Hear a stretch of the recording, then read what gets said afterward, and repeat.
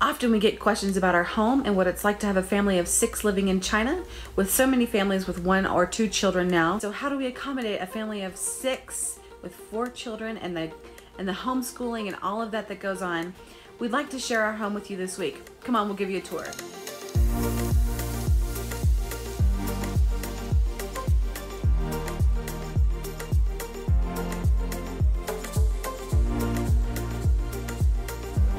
Welcome to our home. We invite you to come on in.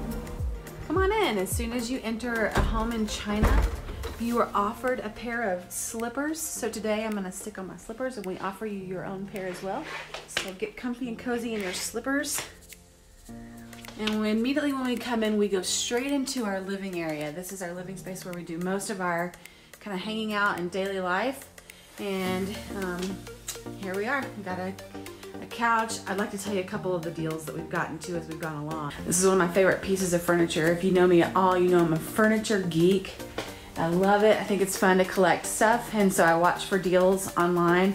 So this is an ancient tea pouring ceremony on this piece of furniture, and I love it. And we're just gonna hang out here, um, do life here, kind of generally hang out in our living room. It's kind of a fun place. From our living room, we go on through to our dining space. Now often, um, because this table is so huge, and we love to have people over, so we keep a bigger table, um, but we leave it pushed in against the storage area there. The table is set up against these doors.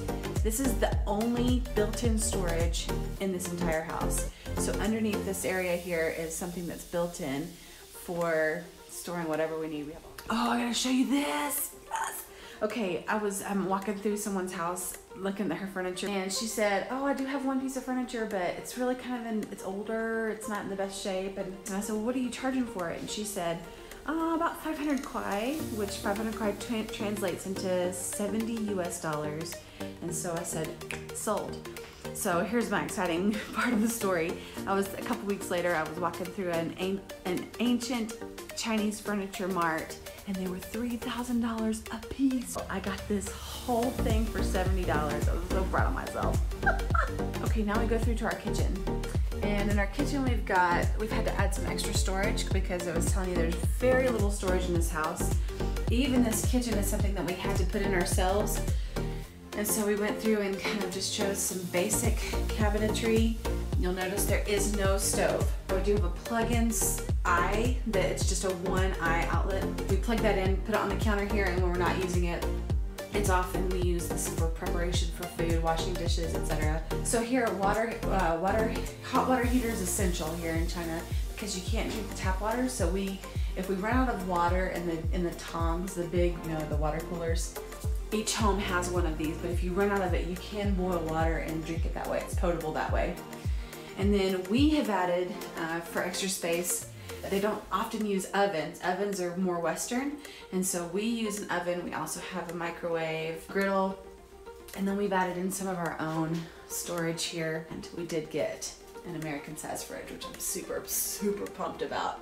Here we have our homeschool room. A lot of our daily activities go on through this room. Here we brought back a lot of these books pretty well supplied for homeschooling. All sorts of supplies. We even do music. We have a table in here set up for our kiddos. And our hamster Chip, part of the family. Chip stays in here. This room also, just for you, is set up with a bed. So whenever you do come visit, because we would love for you to come visit us, you have a place to stay. Our home is your home. You are always welcome here. Another challenge of having a family of six overseas is laundry. So in China, commonly people have a washer but not a dryer. It's more expensive to have a dryer. And in climates like this where it's drier, it's easy just to put it out for a day or so, and usually it will dry on its own. We ended up opting for a dryer since we have such a large family and I mean that's 12 socks a day. So this is actually in kind of a wash powder room area. Right? And then as you come through here, this is pretty tight. Here's my dryer, washer dryer stacked on top of each other. We have changed another squatty potty into a western toilet. So this is just a pretty tight space. But it does, it's really convenient for us to have our washer dryer right here on our main level, a powder space, a washroom, and that is our first floor.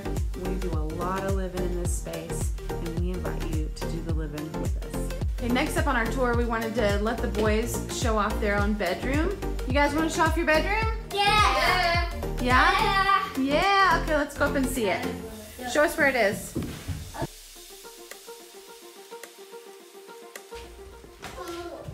You gonna show it to us? Show me where to go. In here? Okay. All right, where's your bed, Carrick? I'm doing this dance. I can see that. Can you show me your Up there. bed? Oh yeah. Go up to it, show me. Cam, where's your bed? Uh, I'm doing the booty scooty. Yep, and who's on the top bunk up here? Say hi!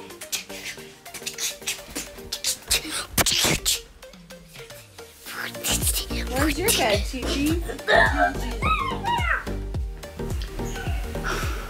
We have a guest bedroom. We've not quite set it up. We've been fairly busy since we came back about a month ago, and so we're kind of getting our house set along the way. I'm going to show you, and I'm going to be embarrassed. I know by this, but um, here it is. It's the it's that room that catches everything. So eventually, this will be the bed where you stay when you come visit us. Yeah, and then we still have some boxes and stuff left to unpack. But until then, I'm embarrassed. It's kind of embarrassing to have this room like this. I'm so sorry. Okay, here we are in my middle hallway upstairs where we kind of just have some stuff, but I wanted to show off a couple of the things that I love that remind me of home and kind of help us on our days where it's a little bit harder. So there's my one of my favorite restaurants in the world. I love this place. Give a thumbs up if you like it. Leave a little comment. My pumpkin my mother-in-law made, a candle my mom bought me, and our Shanghai poster. We were there for five years. And so Chris ended up giving me a sweet poster. Really sweet place to be. So, a lot of love right here in the hallway. I got my little sidekick with me. She goes with me everywhere I go. Say hi. Can you wave and say hi? Wave and say hi. Can you give a hug?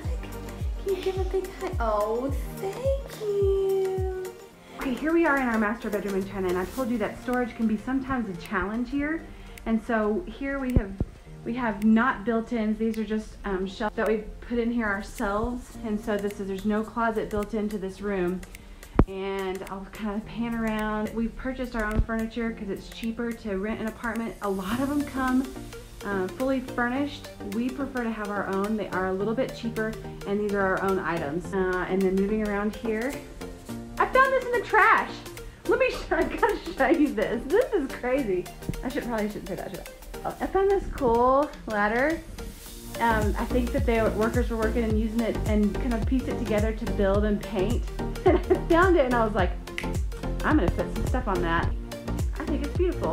And then we have a cool window seat that we can sit in and hang out and read peace and read in there and do our own thing. Um, I haven't sat in there very much because I have four kids and often life is, you know, changing diapers and doing homeschool. Do have a lovely space. Our bedroom is, is a place that we come and sit and enjoy ourselves. These are a gift from a friend. Now I'd like to show you our master bath. Now bathrooms are a little different here. Let me show you. Most bathrooms in China are set up a little different. Uh, normally you would have a toilet uh, that's in the floor that kind of flushes and you squat down to it. We call them squatties. And, and then we've gone through and put in uh, toilets, Western toilets in each of our bathrooms because that's more what we're used to. And then here, the shower would be just running into the bathroom kind of normally, and then it would drain into that uh, whole area. Since we've plugged it with a toilet, they do have the shower still. We did put in a little curtain here just because I just like it that way. And then on the floor, they did add an extra drain, so it drains over here. There is no shower to step into, so we use a squeegee to clean the floor off each time, just to keep it drier. And so that's kind of the bathroom. I really like it. I, I really love having heat lamps everywhere we go, especially since we don't have um, heat, central heating and cooling in this house. That's really nice to have, especially if we'll be in the winter time. It'll be really nice to have heat lamps. So I'm thankful for that. Okay, our guest bathroom is also the toilet, the shower, toilet, mi bathroom mixture combination. And here we added in a western toilet and then the shower from the wall just would drain directly onto the floor. Hey, thanks for sticking with us and coming on the tour of our home. We encourage you to click here if you'd like to see our next video and here to subscribe. Thanks for all those that have subscribed, and we are just thrilled that you're on this journey with us. Say bye bye. Can you say bye bye?